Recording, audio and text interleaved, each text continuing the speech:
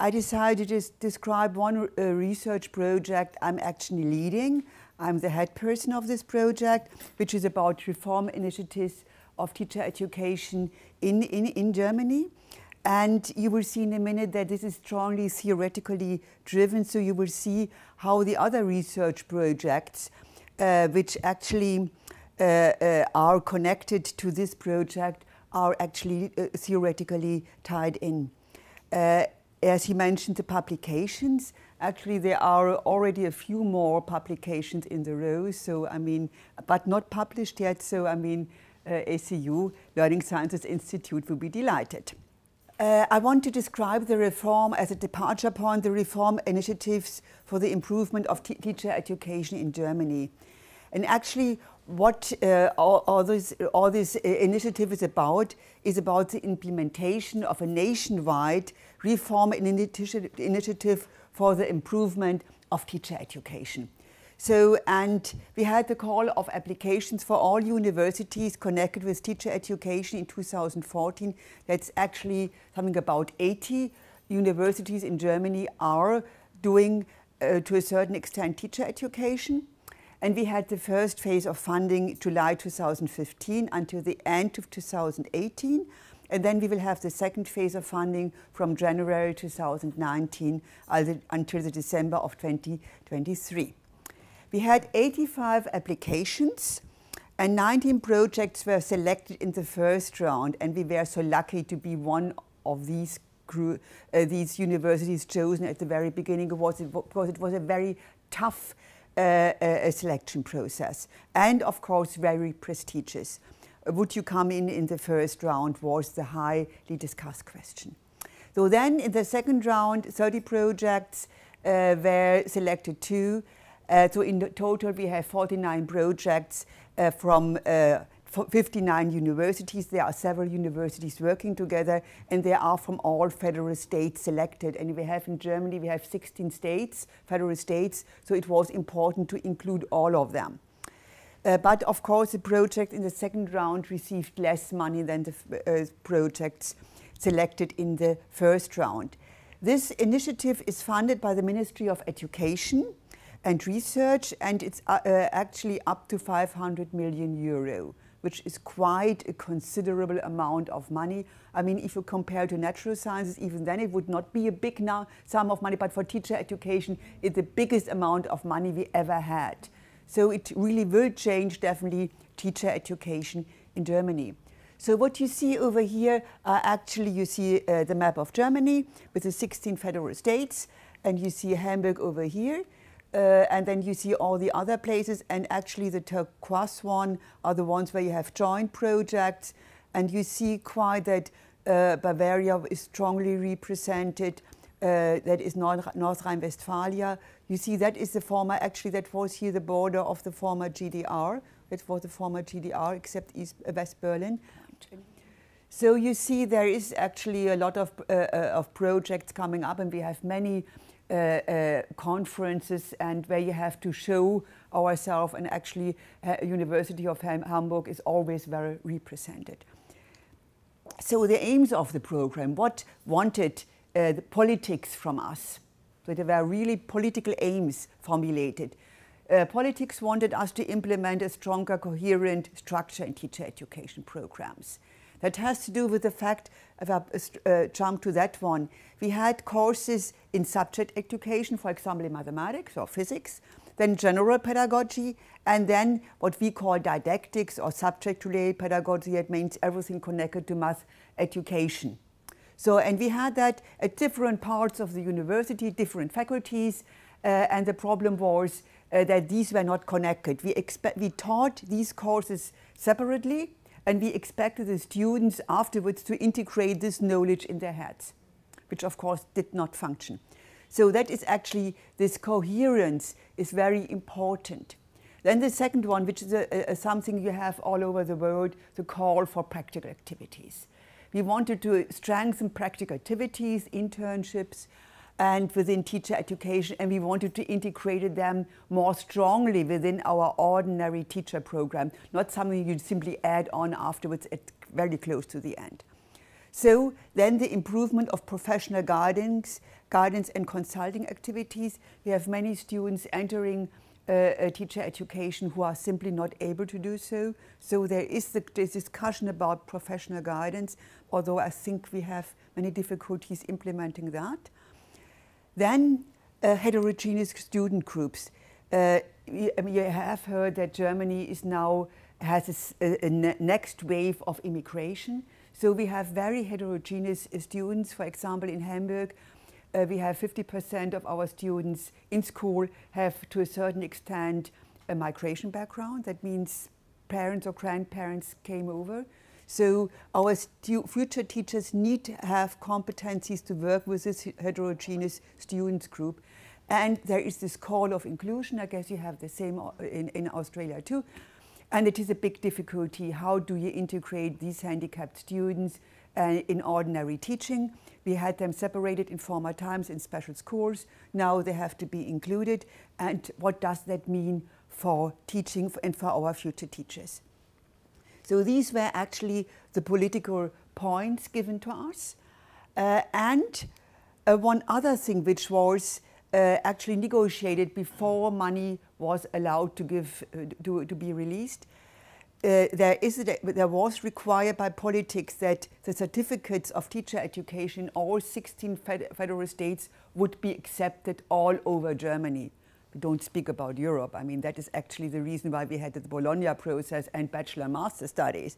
But uh, at least even in, even in Germany, you had difficulty when you had a, a master degree in, in education in one part of, uh, of Germany and then go to another one. So that was actually the requirement which really was uh, uh, uh, uh prolonging the process for at least three, three, or, three more years.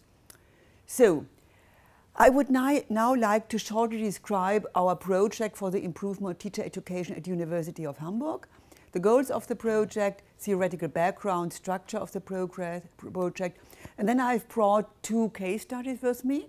And they come from math education, but they are to a certain, because they are two of my PhD students, uh, their work, but uh, they are typical for what we are doing in this, within this project. And it's a case study on language and mathematics teaching and a case study on noticing and internship. And I will always describe theoretical background, research questions, study design, and first results. So what is the goals of the project? And we call this project professional teaching to promote subject-based learning under changing societal conditions.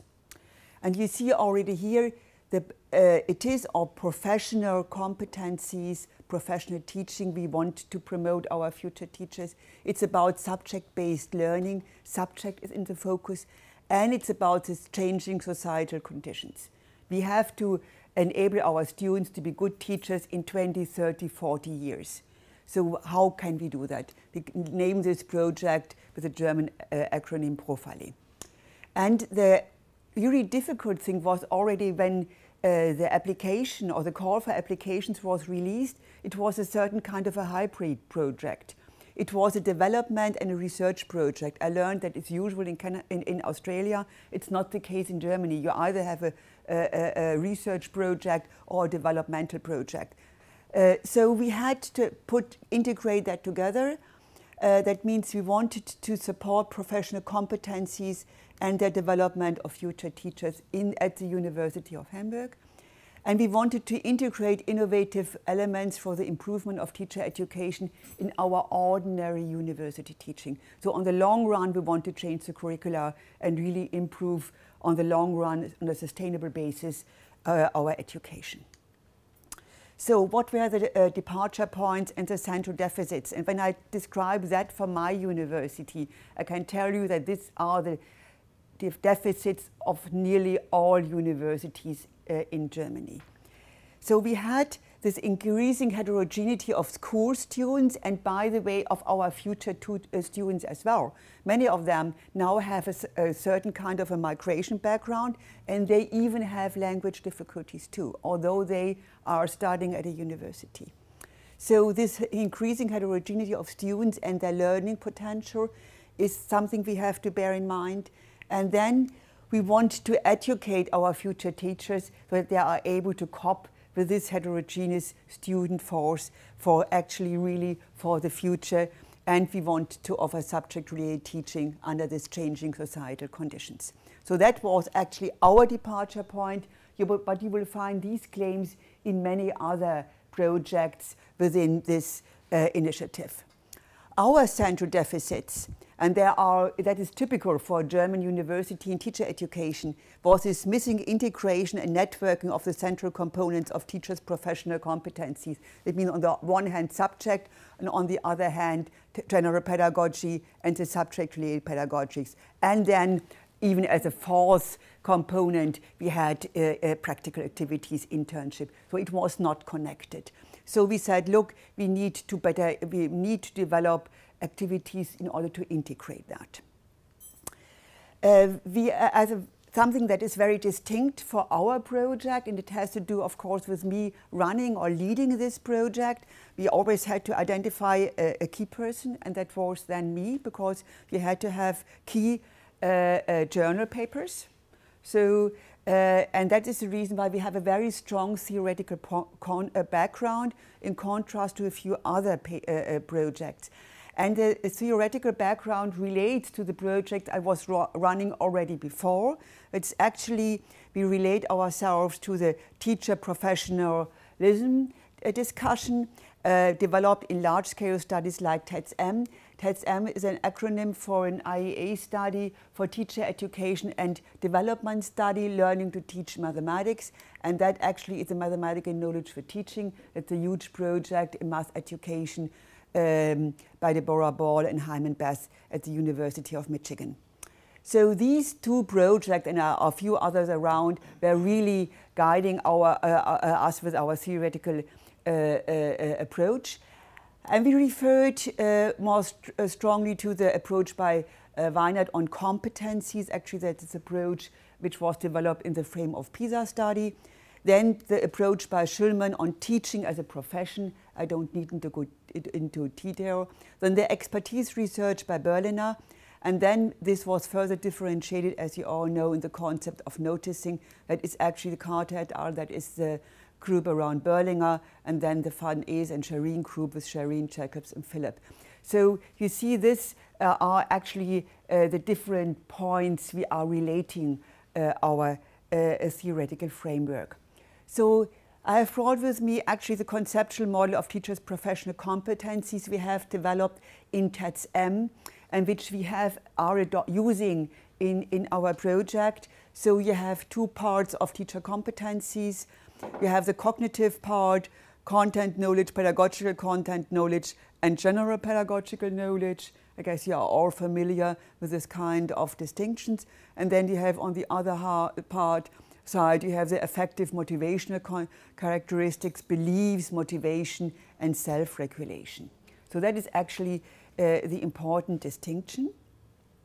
And if I now, uh, uh, if you now allow me, and I will do that very briefly, describe a little bit more about our theoretical framework, which re, uh, relates to the discussion about, about, around professional knowledge and professional competencies. And it's especially discussion you all know about what is pedagogical content knowledge, PCK, developed uh, by Shulman. And you all know this very famous, I guess it's one of the most cited frame, uh, uh, uh phrases all over the world. What is P P PCK? Uh, the special amalgam of content and pedagogy that is uniquely the province of teachers, their own special form of professional understanding. So that is actually this very famous quote. You will find it in nearly every paper around teacher education and teacher professional competencies. But if you look in more detail, and that is a very nice survey paper by Depaepe and others, they say, look, everybody quotes it, but there is no consensus what it really means. And um, the Pepe, Verschaffel and Kelchtermans brought in a very important distinction, which was actually uh, developed by Ken Rowland and Tim Ruthven. And they said, look, there is actually, when you conceptualize pedagogical content knowledge, there are two important distinctions. It's important whether mathematical knowledge, and they refer to math teacher education, but of course it's not restricted to that, whether mathematical knowledge in teaching is located in the head of the individual teacher or is somehow a social asset meaningful only in the context of its applications. And you already see that this has remarkable uh, uh, consequences how you describe uh, uh professional competencies. So if you refer to some kind, to somehow cognitive perspective, you distinguish a limited number of components to be part of your pedagogical content knowledge, and then you are interested how these different uh, uh, uh, uh, knowledge facets or competence facets are related, and you want to distinguish these from other parts of the professional competencies. If you have a situated per, uh, perspective, then you describe pedagogical content knowledge as multidimensional. You uh, emphasize something like teachers' choice, choices, which are done simultaneously. Uh, and you always integrate mathematical and pedagogical deliberations. And when you now go further and ask, what consequences does, does that have for how you uh, uh, uh, uh examine or study pedagogical content knowledge, then you have two different ways of doing it. And of course, it's only it's very rough description. If you come from a cognitive perspective, you measure pedagogical content knowledge independently from the classroom context. You usually would use a kind of a test, let's say a paper and pencil test in former time, now web-based, uh, and you try to evaluate the different facets of teachers' knowledge separately. If you come from a situated perspective, then you would say, look, pedagogical content knowledge can only be assessed within the context in which it is enacted. Means you have to go into classroom, you have to do classroom observations, and so on and so on. And you need, for example, to, to include teacher, teachers' journals and diaries and whatsoever. And I mean, it's quite obvious if you look at these both perspectives, we have started with TEDS-M and other studies from this cognitive perspective, but of course everybody is now moving in this direction. And I mean, it is a consensus all over, uh, I think, the, at least in math education and general pedagogy, that we need both perspectives.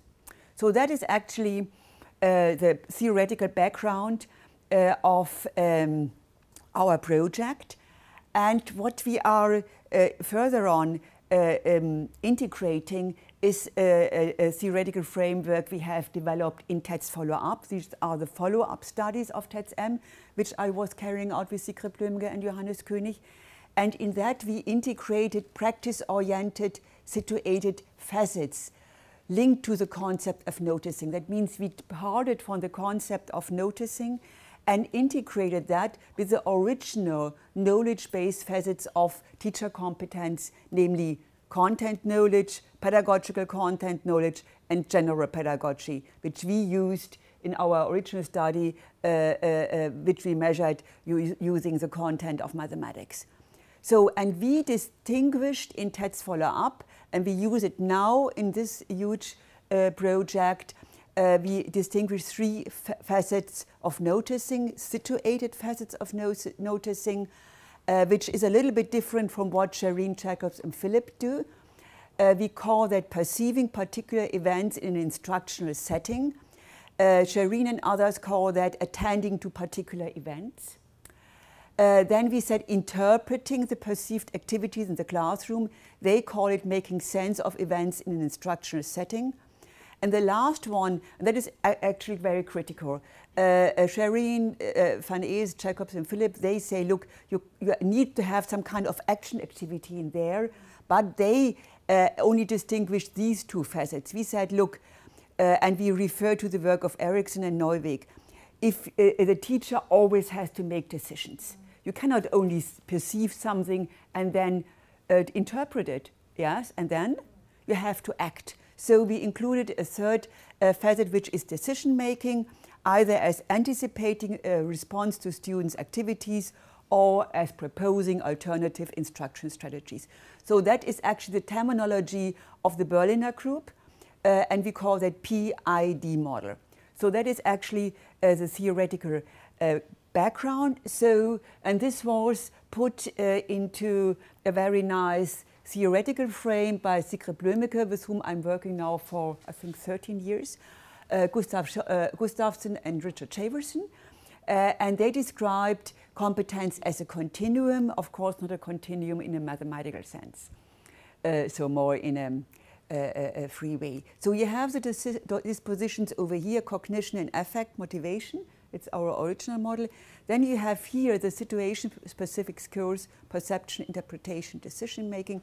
And you have here what you can observe in a classroom when you are, for example, observing future teachers uh, in, in the classroom. So that is actually uh, the model are, which are underlying all our research studies within the framework. So, and uh, we have in addition taken up some uh, um, a framework, the framework from expertise research so that we know that you can distinguish between expert teachers and novices. Uh, that means novice, uh, uh, an expert teacher has a stronger repertoire of teaching and learning strategies, of anticipation, of teaching situations, especially when it comes to decision making. Our novices are much weaker than the more experienced ones. So that is actually another uh, starting point. And the challenges for our project was to get all these different, this very ambitious theoretical framework into working projects and to keep uh, the coherence and the necessity of early publications. I mean, it's all over the world, the question at the end of the day, you have to deliver publications, you have to show what you have described, uh, what you have done. Uh, and so we have a few publications already in the pipeline and a few more are to come. Uh, and we had to use new assessment formats. So you will see in nearly all our studies uh, video-based formats. So we had video-based testing, video-based evaluations. So we distinguished four different areas of activities. Uh, the cooperation between subject and subject-specific didactics, that means mathematics and math pedagogy in my case. Then the aspect of linguistic cultural heterogeneity, inclusion as a big topic for us, and the cross-phase cooperation concerning internship. And we actually really want to implement new uh, uh activities, new uh, uh teaching courses and really want to integrate it afterwards in our curricula. So actually that is what we call our profile house. So you see first uh, under the roof that is are the project leaders. Eva Arnold is our dean of the faculty and I'm very happy that she is supporting me uh, because it means that you have the faculty integrated in all the activities because it was of course not easy to implement that. We have some kind of coordinator. We have, I'm very happy about that because we have two positions over there, two full positions for evaluation, only for evaluation, one position for communication and transfer and three people for program coordination. And then you see the four columns over here and each of uh, the cells is actually one project. And the red ones mean that it is that these are postdocs. That means they are full positions with somebody who has already done the PhD, uh, and all the others are uh, are um, PhD students. So actually, we have, if I'm right, uh, we have uh, 16 PhD students and something about 10 postdocs. So, um, and you see that, uh, for example, mathematics oh, yeah, mathematics is in all uh, uh, uh, in all four phases. That has to do, of course, with the high importance of mathematics, and of course, I was insisting on being included.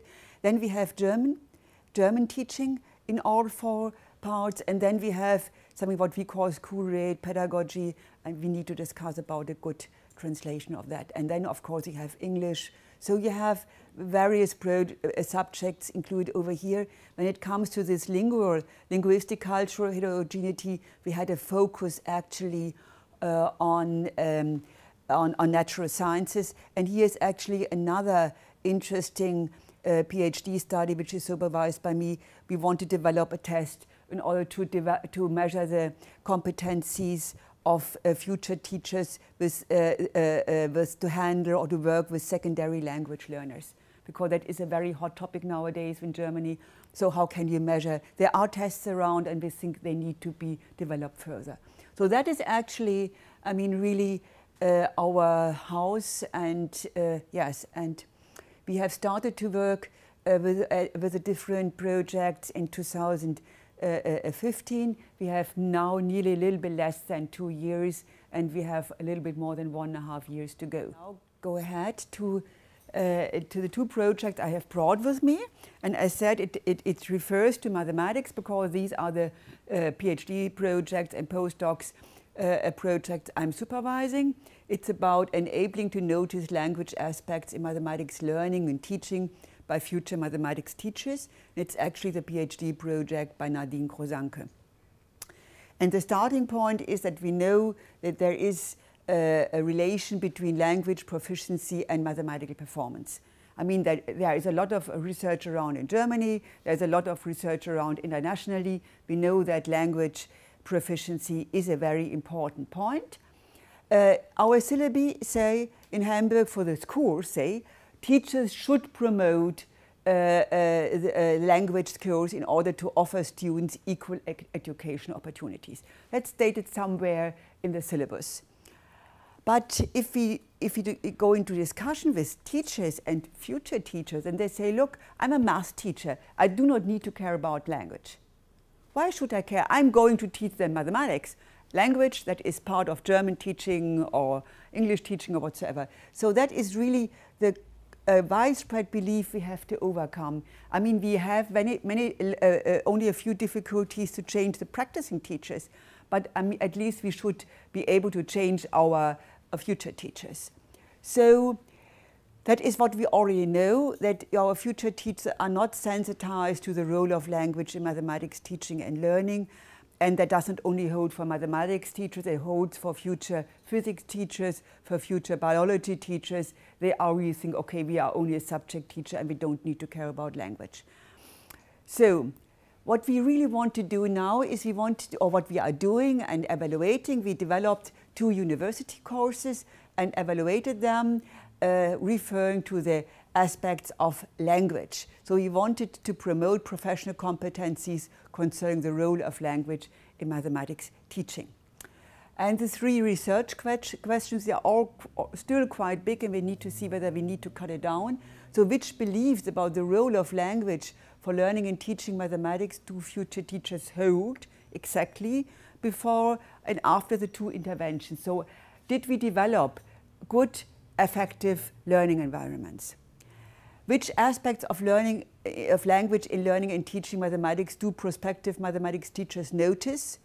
And how do they react in specific situations before and after the two interventions? And how are the beliefs about the role of oh sorry about the role of language in learning and teaching mathematics related to these situation specific skills concerning aspects of language. So what role does the PID model plays? So that is actually perception, interpretation, and decision making. How is that, how the beliefs uh, connect? That means uh, how far do the beliefs promote or hinder somebody to see something. So what we have as design, we have we are concentrating at master levels and actually at activities around the internship um, and our students go to school for two times uh, in ma at master level, actually for six weeks, two times, and before and after they are prepared with special activities. So we had first, uh, uh, at the first semester in the, in, in, the master, at master level, we had a seminar where uh, the teachers are, uh, have, have studied the role of language in learning and teaching mathematics. And uh, in this study, 20 students participated, but we have now repeated that. We had before that a pre-test, and afterwards we had a post-test. And then we had afterwards a seminar, which is uh, accompanying the school internship. And something about 22 students participated, but not all for this seminar participated over here. And we had a pre and post test afterwards. What we did were semi-structured interviews, so of course we could get find out something like awareness, willingness, anticipatory uh, uh, components or reflective components. Uh, and we had an interview guideline which allowed us to uh, bring together the different data of the survey. So, and then we had, in addition, especially to the internship, we had learning diaries and observation tasks. The students had to write a documentation about the task given to them. that could be related to what you are doing over here. Uh, so they had to uh, write uh, really reports about what they had seen. So, and uh, the, our opportunity, opportunities in the first seminar was we tried to introduce them to the uh, con concept of registers, of language register, going back to the approach by Halliday and others. Uh, and then they were analyzing mathematical tasks and mathematical vignettes, that means short teaching situations, in order to identify teaching barriers being uh, uh, uh, uh or coming out of, of language. And we made even several self-experiments where the students were for, for, uh, promoted to notice the importance of language proficiency. And then we even tried to, to bring to them a few uh, uh, scaffolding activities where they could learn how to support future teachers. So, and what I've brought with me is now, and I didn't do not show this video vignette because I have another one to show. Uh, we, uh, the, uh, if we fo focus on the second research question, it means which aspects of language in learning and teaching mathematics do prospective mathematics teachers notice and how do they react in specific situations. For, in order to examine this task, we had uh, one video vignette. It was uh, quite short, something about 10 minutes, and it was a real uh, problem solving activity, a partner work, uh, and it was actually problem solving or mathematical word problem, and it's around the mathematical question of sand glass. And that is a task taken from a nationwide test. So it's not very, you may think it's a little bit weird, but it is actually from our, nationwide test. Uh, and then we had this interview guidelines based, based on our uh, noticing model. And we used the same video vignette in pre and post test design. I know that there's a lot of discussion around using the same video vignette, but on the other hand, it's very difficult to, to find an equivalent one. So uh, what we had was this following question. A, sa a sand glass contains 75 cu uh, cubic millimeter of sand. The constriction in the middle is so wide that 0.25 uh, a cubic millimeter of sand can trickle down per second. Write down the functional equation so that the volume remaining in the upper half is related to the elapsed time and draw a graph of this function. Uh, I mean, it, you already see that this contains a lot of, of language difficulties. And we have Lily and Naomi, bo both have uh, a, a, kind of a migrant background. Uh, and what they write, wrote down as a, as um, uh, a graph. You see you have here the sand and uh, they relate the time to the sand, which is actually means that they have simply reversed uh, uh, the x-axis, uh, their axis. So uh, we asked, although if we examine the task, which was then to be analyzed by the students, you had to you see that they had to analyze that the students were asked write down the functional equation so that f from x is related to x. So it's quite ob obvious which is dependent and which is the independent variable, at least if you are a math education student. So, uh, and uh, uh, so it means you have the linguistic element in order to communicate which are independent and which are the dependent variable and what kind of function is it. Uh, and what Noemi and Lily did was simply they wrote down a functional equation that the elapsed time is related to the volume remaining in the upper half of the sand glass. So, um, and we have ana analyzed the data. We have ca carried out that with several students, and we are still in the process of analyzing the data. Uh, and we are now in the process of analyzing the first post-test data. Uh, we will carry out a few more interviews actually this week and next week. And what we could see in the pre-test was the following. The students, most of the students were not able to see the switch of the coordinate axis, although they had received a, a, a, solution of the task in advance. So it shouldn't have been too difficult to see, look, the students uh, uh, switched the, ax the axis. And if they noticed it, then they said something very superficial that, yes, okay, Noemi and Lily didn't know that time is always the x. I mean, that is a very easy thing. If I always take a, a time as uh, uh, the independent variable, it will work in 80% uh, of the cases. So I mean, it's a very superficial argument.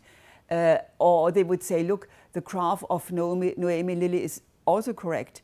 I mean, to another question, it would have been correct. But I mean, in this task, it was very clear what uh, uh, the de dependent and the independent variable was. And they said something like the text is hard to read. And they had no idea uh, what Noemi and Lily did, uh, had to say. So they remained on a very superficial uh, explanation, something like, oh, it was hard to read the task, something like that. And they didn't really go further. Um, so they had, didn't realize the language barriers which were really within this task. And I mean, which a, future um, mathematics teacher should be able to identify that this task has many linguistically uh, linguistic barriers. So if we now look at, and, and as said, we have just uh, uh started to analyze the post-test, then we could see that the students were more able after this seminar for one semester, that means 14 uh, uh, week teaching weeks, um, 90 minutes uh, per week, uh, they could better identify the problems students had. So they could better describe uh, really uh, that this kind of cases we have used, this kind of very complicated grammatical structure is really creating language barriers for the students. So, and uh, they would have been able to say, look, let's try to do it in a more easy way. So we have indications that this kind of seminars is really uh, uh, uh, has some kind of influence for the students, but of course the question is how long will that last and will they be able to transfer it to other tasks. So that is actually one project we are around uh, we are doing. And I would like to show you a second one. I'm pretty certain that if I'm back in half a year or even earlier, uh, I will be able to have more results. But it's simply, you know, to show you some or give you some uh, insight in what we are doing. And of course, more is to come. That is actually the PhD project by Anna Orschulik. She is a practicing teacher and uh, two-thirds uh, of her position is with us. Uh, and she is uh, analyzing future teachers' competence of noticing during internship. So what is going on during internship? And she refers to uh, the, um, the uh, framework of Sherin and Star, who said a teacher is bombarded with a blooming, buzzing confusion of sensory data. So, and you have no idea what you should do. We all know this and an adequate reaction on all these internal influences is really not possible. I mean, somebody is walking around and you should concentrate on what you are trying to explain to your students. And you have to filter these external influences and you have to decide what to focus and what to see. And that is, of course, how the awareness come in uh, and the reflexivity. And of course, he has to be, uh, a teacher has to be able to observe and understand important classroom incidents.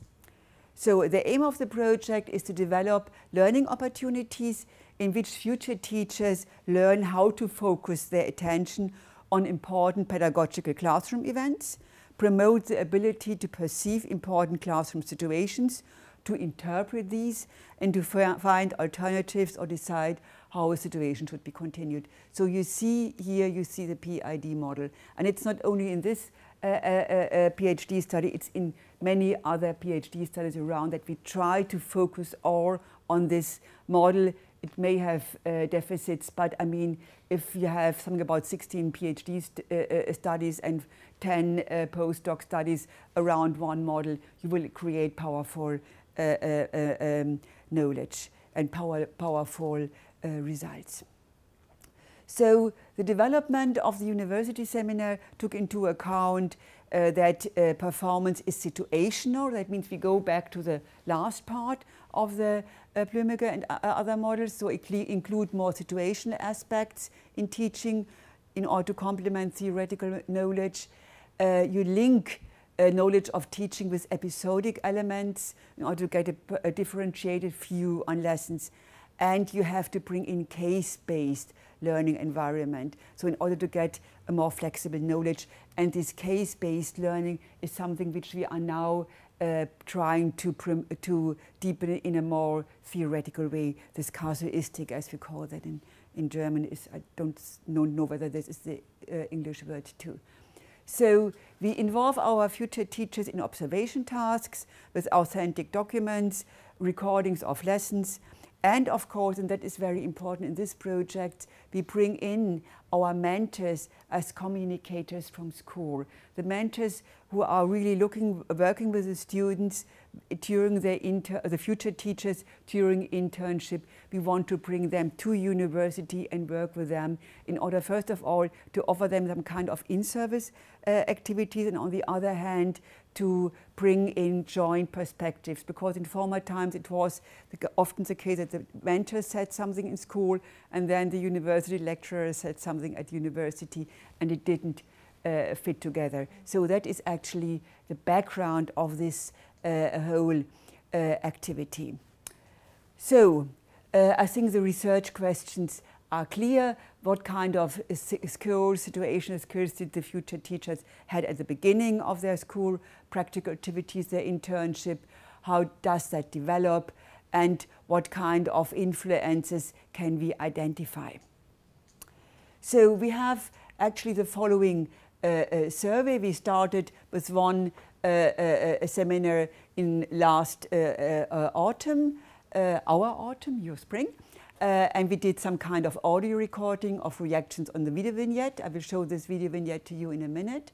Then we had the intervention, namely the seminar, and then we had a post-survey. And we repeated that with another group of students uh, with the same design. In April, this will start and it will last until uh, our uh, uh until August, October. So I have brought with me one of these uh, uh, video vignettes. It's actually a scripted video. So we always staged video. We always work with these kind uh, of video vignettes. There are a few. Uh, the first one was an uh, authentic one, but I mean it suddenly happened. So otherwise he would have used a, st a one. Uh, the video is sequence is taken from a mathematics classroom in a German comprehensive school. Uh, and the mathematical abilities of the class is heterogeneous. It's actually, it's uh, grade 8. And uh, you all know, are familiar with this kind of task. It, it's a very easy one. On a farm there are geese and cows. Altogether there are 105 animals and there are four times as much geese than cows on the farm. How many geese and how many cows are on the farm? And uh, we usually give before we do, uh, uh, we show the video, we give the solutions to the future teachers, and we did that with practicing teachers in the TEDS follow-up study. Uh, we used that um, in order to prevent or uh, uh, uh, the teachers from doing the task while the video is running. Because, I mean, math, math teachers would immediately start to calculate. You can't prevent a teacher from doing calculations. So, I mean, in order to avoid that, we did that. Ihr seht die Aufgabe an der Tafel. Lasst uns die erste Gleichung gemeinsam finden. Hat schon jemand eine Idee? Alles gut? G plus K gleich 105. Marie? Dasselbe. Sven? Das habe ich auch.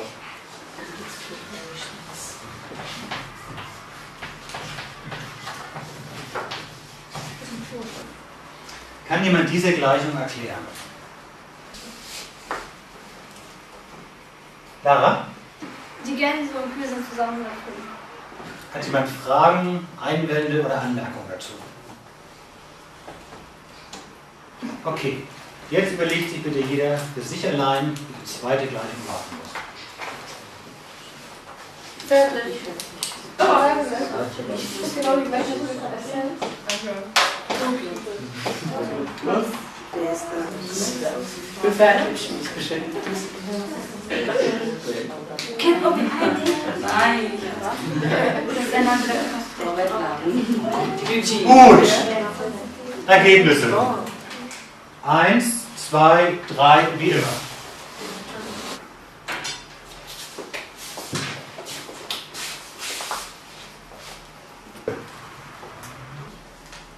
Nana? Ja, das Ergebnis kann aber nicht stimmen. Weil wenn man jetzt 4 mal 20 einsetzt, ist ja gleich 80. Und 20 ist das G und 80 das K. Dann wäre ja mehr Q als Gänseblauch. Hä?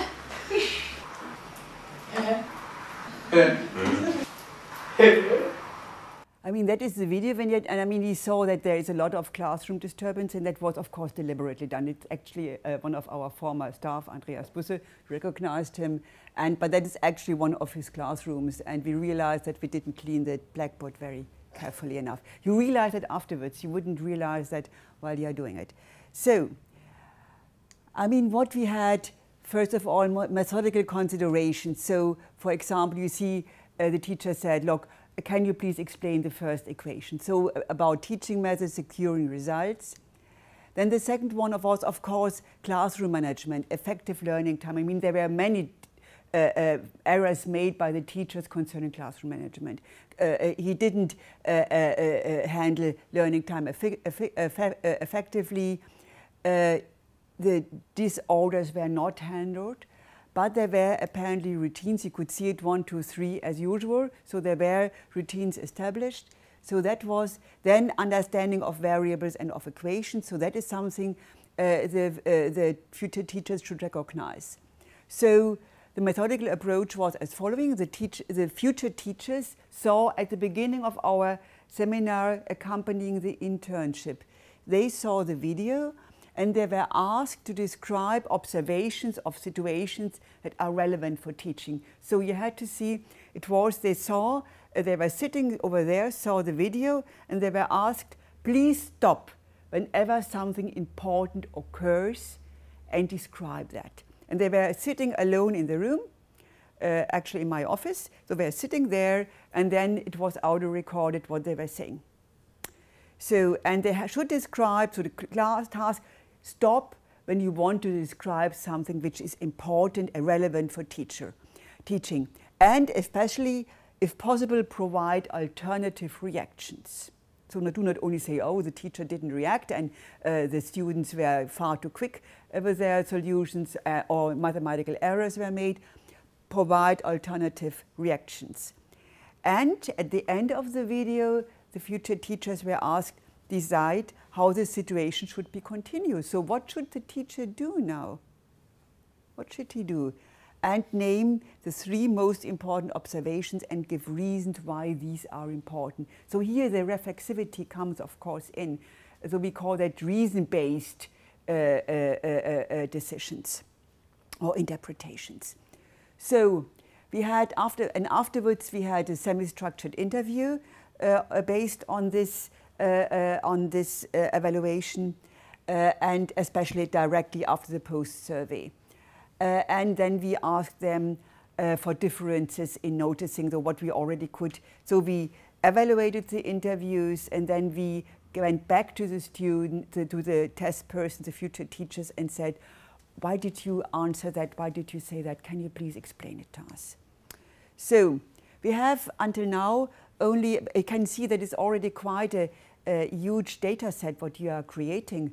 Uh, and we have uh, evaluated the data of six future teachers so far. And what we did in order to go back to our, remember that I said that we are going, referring to this expertise model, so to the ex novice expert model. So what we did in advance was we evaluated five practicing teachers uh, who are working in school and said do the same. Uh, and then we had additional data. For example, you should know that in Germany, all our future teachers are studying two subjects. So that is very different uh, from over here. That's the reason why it takes us so long. Uh, so then, of course, external characteristics, how often the future teachers stopped, what kind of pauses they made, and it, that is afterwards then uh, uh, related to the PID model and we used some kind of software, MAXQDA, referring to text analysis methods of Kuckartz. Uh, so what we could see concerning the perception, uh, nearly all students, future teachers uh, and teachers selected the same situation. So they paused in similar situations and they refer to the similar situations. For example, when the students were really, really getting bored and the teachers didn't do anything. I mean, everybody said, look, the teacher should have intervened and said, look, behave carefully, or he should have simply continued earlier. Uh, then, um, I mean, that was something which was similar for both groups. Then, uh, so it means concerning perception, there was no significant difference between teachers and future teachers. Although what we could see is that the future teachers didn't holistically uh, uh, uh, percept the situation. That means they commented separately and they hardly did any connections to the previous situations. For example, uh, it's very important that one, when uh, the teacher asked, can you please explain what the first equation means? Then one student said, the, the goose and the cows are together 105. That's of course very wrong because that leads to the wrong, uh, uh, percept, uh, wrong interpretation of variable because the correct wording would have been the number of cows and the number of, go uh, uh, of uh, are, uh, are, equal to 105. So uh, I mean that is something which uh, the, the teachers see holistically. They say, look, this error at the end refers to the missing correction of the teacher here at the beginning. He needed to correct this formulation and then maybe the, the students would still have made errors, but at least you didn't provoke it. So that was nothing our future teachers say they really said one made one description and another description, but they did not connect that. They didn't see this causal relation. Um, uh, and uh, the uh, practicing teachers referred quite often to the opening situation that, look, the situation was simply too unclear. There was no clear explanation of the understanding of a variable, and that caused the problem. When it comes to interpretation, uh, we, you can really see that the future teachers had many difficulties in interpreting it, the, uh, the, the situation, in contrast uh, to uh, practicing teachers. And what our future teachers especially did, they reacted, uh, they focused on classroom management. So they did not so strongly interpret the mathematical errors the teachers made, which then influenced afterwards uh, the problems of the students. And they did, of course, not provide us with good ideas how to continue. But they said, look, classroom management was poor, teacher uh, didn't intervene uh, early enough. So they uh, refer to the surface structure. I mean, it's not so uh, new. We already know that, that uh, novice teachers are focusing on the surface elements and especially something like didactical or methodical decisions were uh, not uh, proposed. And the teaching disorders, that is really the, uh, a strong point uh, by many of the future teachers, in contrast to the uh, practicing teachers. Uh, when it comes to decision making, there are the strongest difference between novice and expert, and that was expected. When you really see how the future teachers were answering, they were pausing, they look, hmm, what shall I propose? And you realize, pausing, they had no idea. I mean, they realized there was a mistake. Yes, but what should they do? What should I do as a teacher in this situation where you have this error? I mean, of course, you can prepare yourself in advance because uh, you know what you are teaching and then you can uh, develop yourself a good explanation. But they were really so long breaks while speaking. They had, look, maybe we could develop, uh, explain in more detail the notion of variable uh, that could maybe probably enrich. So you have all these kind of, of words which show how insecure the students are. Uh, and they were concerning how to act really. There were only hints. So there was really no alternative reactions were proposed. So you could really, especially when it comes to decision making, you saw a big difference between the novice and the experts, and you could really see what, what we have to do in order to bring our students a little bit further to become an expert status at the end of teacher education. So what we, of course, need to do, we need to take back this message to the structure of our seminar, maybe bring in more uh, uh, video-based activities, think more about alternatives. That means really uh, strengthen alternatives, discuss misconceptions. I mean, that is something which, and related to actions you can take or measures you can take as a, as a, a, a teacher, and of course, show connections between the different topics. So that is something we will include now in our new uh, seminar structures. So the outlook is, of course, as said, we are in the middle in the pro of the process of analyzing the data. Uh, and of course, we want to analyze the data concerning uh, how strong is the change in the noticing skills. We want to identify influences, and of course, then we want to adjust the seminar concept. And as said, we are going to repeat the whole sequence once more, so in order to get a richer data set. Um, so the overall prospects, in order to close, is there are uh, these two examples I've brought with me are typical for the kind of research we are doing in this project. And as already said, it's a big bunch uh, of studies around uh, and uh, expect uh, that all of them, or most of them, uh, will be able to submit their thesis until the end of next year. Uh, and the postdocs may uh, do their postdoc activities with publications in journals. So the question is, of course, what kind of uh, influence will that have on our overall teaching in education? So what does that mean for teacher education at the University of Hamburg? Do we see something which is really do we see a change? Can we measure that? And we are actually, in, uh, in addition, doing some kind of competence measure, com competency measurement. And I mean, we really would love to see, at least at the end of next year, to see some kind of changes in the competencies, at least in when it comes to math pedagogy, and uh, we're doing, doing that in math, in English, and in German, when it comes to these kind of competencies in these three subjects.